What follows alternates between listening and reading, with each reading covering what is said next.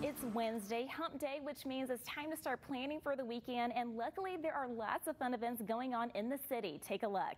If you have a need for speed, listen up. The 34th annual Memphis Chevy Show is returning this Friday through Sunday at the Memphis International Raceway. Gates open at 8 a.m. One day tickets bought in advance are $20 for adults every day except for Saturday. They'll be $25. Children 5 and under are free. It will cost $5 more if you buy a ticket at the gate though. For more information and ticket prices, visit racemir.com.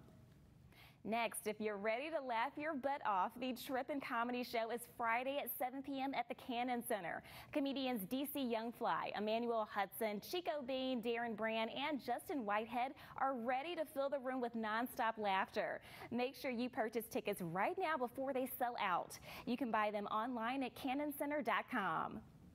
The third annual Memphis Rocks Yoga Festival is Saturday from 10 a.m. to 4 p.m. at the Memphis Botanic Garden. Enjoy some live music, chow down at the food trucks, or choose from 20 different yoga classes to join in that are located throughout the venue.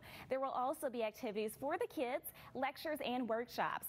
Tickets are $45 until Friday. If you purchase tickets the day of, it will cost you $55. A portion of the proceeds will benefit Memphis Rocks. For more info, visit Memphis Rocks Yoga Festival that's all the time that we have for today's show. Tomorrow, getting your kids fed, packed up, and prepared for school in the morning can sometimes be hectic. I'll tell you some easy, out of the door fast hacks that'll turn you into a pro in no time. And it's no secret that parenting is a full time job that can be stressful. Find out what you can do to break free from mommy burnout. I'm Sydney Neely, and I'll catch you next time on The Shortcut.